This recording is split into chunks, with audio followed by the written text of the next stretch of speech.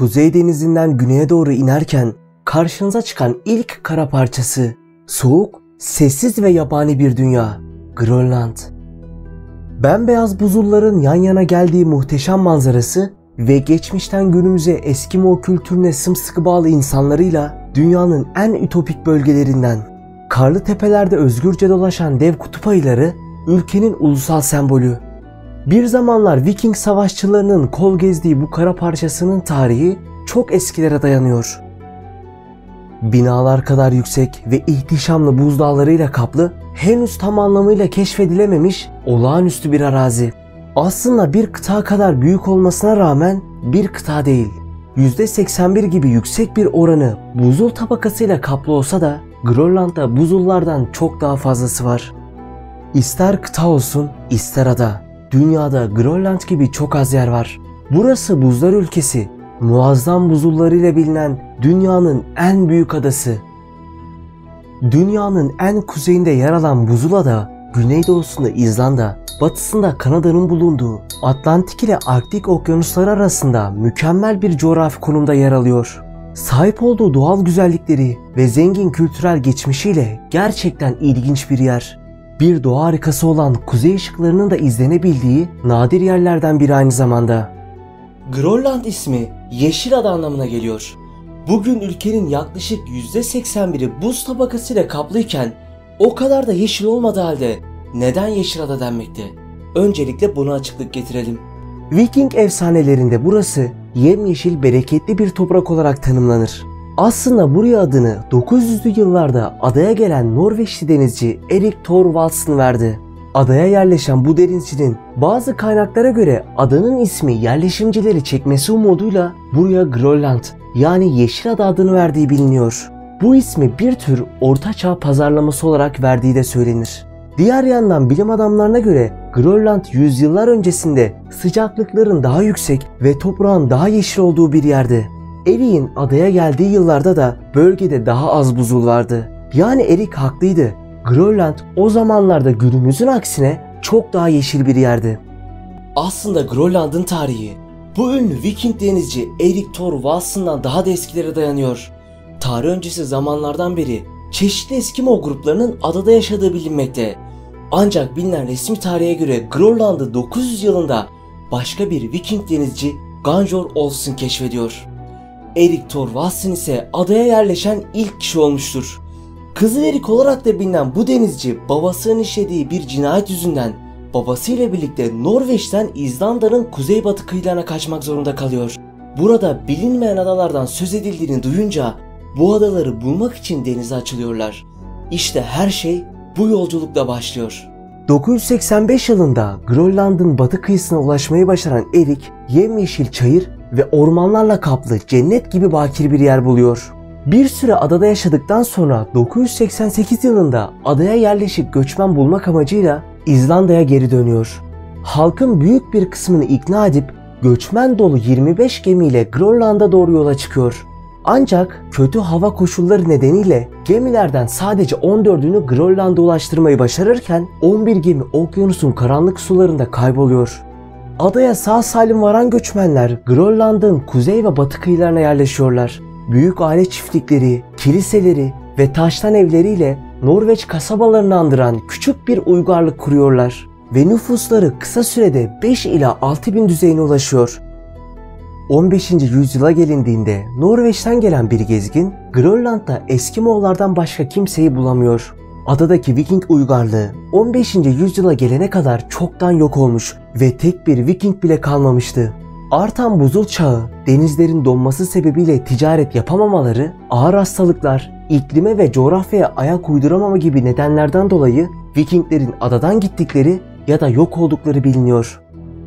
Eskimoğullar ise ortama daha iyi uyum sağlamaları, alet edevat yapmadaki üstünlükleri ve zaten yüzyıllardır soğuk yerlerde yaşadıklarından dolayı bölgede rahatlıkla yaşamlarını sürdürüyorlar. Aynı dönemde hem Vikingler hem de Eskimoğullar bölgede yaşamlarını uzun bir süre sürdürdüler. Ancak tutucu ve ırkçı Vikingler tepeden baktıkları Eskimoğullarla ne ticari ne de başka türlü hiçbir ilişki kurmadılar. Bu yaptıkları belki de sonlarını getiren şeydi. Çünkü bu buzlar ülkesinde hayatta kalmak çok zor. ve bunu en iyi başaran Eskimolardı. Dolayısıyla da onlardan avlanmak, hafif kanolar yapmak, hayvan postundan giysi dikmek gibi hayatı önemi olan becerileri öğrenemediler. 18. yüzyıla gelindiğinde ise bu defa Danimarka Grönland'a ticaret kolonileri kuruyor. Buna kısacası sömürgede diyebiliriz. Zaman içerisinde ilerleyen ilişkileri Grönland'ı Danimarka'ya daha bağımlı hale getiriyor. 20. yüzyılda ise ada Danimarka ile birlik kurarak tarihi bir karar verdi ve 1953'te Grönland resmen Danimarka Krallığı'nın bir parçası oldu. Bugün hala teknik olarak kendinden çok çok küçük yüz ölçümüne sahip olan Danimarka Krallığı'na bağlı özel bir bölge ve kendi yerel yönetimine sahip. Danimarka aynı zamanda bölgenin dış ilişkilerinden ve güvenliğinden sorumlu. Danimarka Kraliçesi 2. Margaret, Grönland'ın şu anki devlet başkanı. Başbakanı ise ülkedeki özel hükümetin başı olarak görev yapan Kim Kilson'dır. Ada esasen fiziki olarak Kuzey Amerika kıtasının bir parçası. Hatta Kanada'nın doğusu ile Grönland'ın batısı bir denizaltı sırtıyla birbirine bağlı. Böyle olmasına rağmen Grönland yüzyıllardır Avrupa ile siyasi ve kültürel ilişki içerisinde. Grönlandlıların sayıca büyük bir bölümü Eskimo kökenlidir. Ama ilginçtir ki kendilerine Eskimo denmesini kabalık olarak görüyorlar. Bu yüzden Grönlandlı anlamına gelen Inuit kelimesiyle hitap edilmesini tercih ediyorlar. Günümüzde Grönland nüfusunun %88'ini Inuitler oluştururken %12'lik geri kalan kısmını Danimarkalı ve Avrupalılar oluşturuyor. Ülkede resmi dil olarak Grönlandça konuşulurken Danca ve İngilizce de konuşulan diğer dillerden. Para birimi olarak Danimarka kronu kullanılıyor. Hakim olan din ise protestanlık. Nüfusun yaklaşık üçte ikisi bu dine inanıyor. Ve şamanizm gibi geleneksel inançlar hala küçük bir azınlık tarafından uygulanmakta. Şaşırtıcı bir şekilde Inuitler ile bazı yönlerimiz birbirlerine çok benziyor. Hem görünüş olarak hem de dilimizdeki bazı kelimelerle. Mesela Inuit dilinde anne ana, baba ise ata demektir. Yaklaşık 2 milyon 200 bin kilometre karelik bir alana yayılan Grönland, Fransa, Almanya, İspanya, İngiltere, İtalya, Yunanistan, İsviçre ve Belçika'nın toplamından daha büyük bir yüz ölçümüne sahip. Kıta kadar büyük olmasına rağmen bir kıta değildir. Ancak geniş buz tabakası nedeniyle yerleşim alanları oldukça sınırlı durumda. Bu nedenle günümüzde 57 bin kişilik düşük bir nüfusa sahip ve dünyanın en az nüfus yoğunluğuna sahip ülkesi. Grönland'ın başkenti ve en büyük şehri yaklaşık 17 bin kişilik nüfusa sahip Nuuk'tur.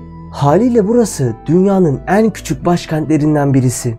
Bölge geniş bir arazi büyüklüğüne sahip olmasına rağmen yerleşim yerlerini birbirine bağlayan herhangi bir karayolu veya demiryolu sistemi bulunmamakta. Sadece kasabaların kendi içinde yollar var. Buradaki ulaşım genelde tekneler ve hava trafiğine bağlı. Ülke genelinde her yerde havaalanları ve helikopter pistlerine rastlamak mümkün. Ayrıca kar motosikletleri ve köpek kızaklarıyla da ulaşım sağlanmakta. Bu köpekler yalnızca deniz buzu olan yerlerde bulunuyor. Grönland kızak köpekleri Inuit kültürünün ayrılmaz bir parçasını oluşturuyor. Bu köpekler yaklaşık 5000 yıldır ulaşım ve avlanma aracı olarak bu insanların hizmetinde. Grönland'ın en az bilinen gerçeklerinden biri ise köpekleri evcil hayvan olarak değil, çalışan köpekler olarak görmeleridir. Yüzyıllardır bu böyleydi ve bugün hala devam ediyor. Bu köpekler kurt genlerine sahip olduklarından sık sık insanlara saldırdıkları için bölgede serbestçe dolaşamaz, bağlı tutulurlar. Grönland'ın yüzeyi çoğunlukla düzdür. İklimi her zaman soğuk ve kurudur. Ülkede kışlar bazen eksi 55 gibi çok düşük sıcaklıklarda geçerken yaz ayları da donma noktasında geçer. Güneş her yıl Nisan sonundan Ağustos sonuna kadar batmaz. Güneş doğar, renkler değişir ancak güneş tüm gün ve gece boyunca görülür. Yılın en uzun günü olan 21 Haziran, Grönland'da yaz dönümü ve milli bayram olarak kutlanır. Temmuz ise zaman zaman sıcaklığın donma noktasının üzerinde olduğu tek aydır. Grönland şehirlerinin tümü sahil şeridi boyunca inşa edilmiştir. Kuzey ve iç kısımlar tamamen buz tabakasıyla kaplı olduğundan sahil şeridi buzsuz olan tek bölgedir. Yerleşimin olduğu bu buzsuz alanlar yaklaşık 450 bin kilometre karedir. Kıyaslama yapacak olursak bu Norveç'in büyüklüğüne karşılık gelir. Güney ve batıda yaşam koşulları ve tedarik seçenekleri doğu ve kuzeyde olduğundan daha kolaydır. Buna rağmen kuzey ve doğu bölgelerinde de yaşayan insanlar yok değil. İnsanların %10'luk bir kısmı kuzey ve doğuda hala av hayatı yaşıyor. Atlas Okyanusu'nun kuzeyinde yer alan adada kara üzerindeki buz kalınlığı 3 kilometre kalınlığa ulaşırken deniz altındaki buzulların uzunluğu yüzlerce metreyi buluyor. Jacob Sham adlı buzul kaya Batı Grönland'daki büyük bir vadi buzuldur. Dünyanın en hızlı hareket eden buzullarından biri haline gelmesiyle günde yaklaşık 40 metre hareket etmekte ve ilerledikçe yolundaki her şeyi yok ediyor. Jacob Sham ülkenin buz dağlarının yaklaşık %10'unu üretmekte. Aynı zamanda Titanic'i batıran buzdağının da kaynağı bu buzuldu. Grönland'daki kışlar uzun ve karanlık olsa da muhteşem kuzey ışıklarını tüm ihtişamıyla görme fırsatı sunar. Eylül ayından Nisan ortasına kadar gökyüzünün açık olduğu hemen hemen her gece ışıklar görülebilir. Ve burada çok az ışık kirliliği olduğu için renkler son derece canlıdır. O kadar güzel ve büyüleyici bir manzara ki Grönland sakinleri bile izlemekten asla yorulmazlar. Gökyüzünde oluşan bu gizemli ışıklar dünyanın manyetik alanı ile güneşten gelen yüklü parçacıkların etkileşimiyle gökyüzünde ortaya çıkan doğal ışımalardır. Bugün Grönland topraklarının sadece %1'i tarım elverişli ve çok az tarım yapılabiliyor. Halk diğer ülkelerden yapılan ithalata muhtaç durumda. Danimarka'dan her hafta 2-3 defa gemilerle buradaki restoranlara, mağazalara ve marketlere konteynerlar geliyor. Burada yaşayan yerel halk için geçim kaynağı balıkçılık, avcılık ve turizmdir. Ülke deniz ürünleri, balinalar ve foklar gibi diğer hayvanlar dışında hemen hemen her şeyi ithal ediyor. Her idari bölgede aşırı avlanma olmadığından emin olmak için belirli bir balina, fok ve balık kotası vardır. Mavi balina gibi bazı türler korunur ve bu nedenle avlanamaz. Balina ve fok eti ihracatına izin verilmez. Bunlar yalnızca yerel halk tarafından tüketilir. Bir zamanlar ekonominin temel kaynağı olan fok avı 20. yüzyılın başlarında büyük ölçüde azaltıldı ve yerini morina balığı, karides, konserve ve dondurulmuş ürünlere bıraktı. Ancak küçük şehirlerinde ve kasabalarında ana geçim kaynağı hala balıkçılık ve fok avcılığı. Bugün 2500 kişi geçimini sadece foklardan sağlıyor. Grönland'da son dönemlerde yapılan keşifler demir, uranyum, bakır, elmas ve diğer mineral yataklarını ortaya çıkardı. İklim şartları uzun zamandır bu kaynakların kullanımını sınırlandırmıştı. Ancak küresel ısınma sadece deniz buzunu eritmekle kalmadı. Aynı zamanda bu çeşitli mineral yataklarını, petrol ve doğal gaz aramalarını daha erişilebilir hale getirdi. Ve adanın ilk altın madeni 2004 yılında açıldı. Öyle ki değerli taş madenciliği bir gün en büyük sanayi olarak balıkçılığın önüne bile geçebilir. Hükümetin giderek daha fazla yabancı firmanın keşif ve madencilik yapmasına izin vermesi Grönland'ı çok önemli siyasi ve ticari mesele haline getirdi.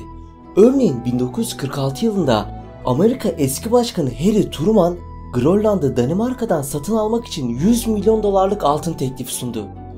Ancak ülke adayı satmayı reddetti. 2019 gibi çok yakın bir zamanda Amerika eski başkanı Donald Trump da Grönland'ı satın almak istedi. Ancak Danimarka hükümeti bu teklifi ikinci defa yine reddetti. Dünyanın en büyük adası olarak Grönland çok çeşitli hayvan türüne de ev sahipliği yapıyor. Bölgede kutup ayıları, rengeyi, kutup tilkileri, kartallar, yabani tavşanlar ve kurtlar da dahil olmak üzere birçok memeli ve kuş türüne rastlamak mümkün. Ayrıca bu derin sularda 15 farklı balina türü var. Bunların en çok görülenleri kambur balina, minke ve yüzgeç balinasıdır. Beyaz kuyruklu kartal Grönland'da gökyüzünün sahibidir. Ancak adadaki birçok kuş türünden sadece biri. Adada 60 türün ürettiği yaklaşık 235 farklı kuş türü vardır. Şahinler, baykuşlar, kazlar, puflu ördeği ve pitarmigan Grönland'ın çeşitli kuşları arasında. Kutup ayısı ise Grönland'ın en büyük avcısı ve ülkenin ulusal armasının sembolüdür. Aslına bakacak olursanız bu buzlar ülkesinde her şey tam olarak yolunda değil. Özellikle yerel halk Danimarka krallığına bağlandıktan sonra sosyal ve kültürel bir şoka uğradı ve Grönlandlılar uzun süredir bazı sosyal sorunlarla mücadele ediyor. Grönland, kürtaj oranının en yüksek olduğu ülkelerin başına geliyor. Nüfusu yaklaşık 57 bin olan ülkede hamile kalan kadınların yarısından fazlası gebeliğini sonlandırdı. Yaklaşık olarak her bin kadından 30'u kürtaj oluyor. Grönland'da resmi verilere göre 2013 yılından bu yana her yıl yaklaşık 700 doğum, 800 de kürtaj kayda geçti. Yani ülkede kürtaj sayısı doğum sayısını geçmiş durumda. Grönland'da intihar oranları da çok yüksek. Her yıl 100 bin kişiden 83'ü intihar ediyor ve bu kişilerin büyük bir bölümü gençler. Grönland 1953 yılında Danimarka Krallığı'nın topraklarına ait olduğunda kendi dilleri geri planda kalırken ana dil olarak Danca öne çıktı. Bu hem toplum hem de ekonomide keskin değişimlere yol açtı. Nüfusun %80'ini oluşturan yerliler kendi kültürel miraslarını korumaya çalışırken bu modern topluma ayak uydurmaya çalıştı. Ancak geleneksel toplumdan modern yaşama geçmeye çalışırken pek çok insan zorlandı. Alkol tüketimi arttı. Bu da hem şiddet hem de cinsel istismarı tetikledi. Adada yaşayan çoğu kişinin daha önce intihara kalkışan bir tanıdığı mutlaka var. Henüz kanalıma abone değilseniz sadece 2 saniyenizi ayırarak kanala abone olmayı ve bu videoyu beğenmeyi lütfen unutmayın. Destekleriniz benim için oldukça önemli. Bir sonraki videoda görüşmek üzere. Hoşçakalın.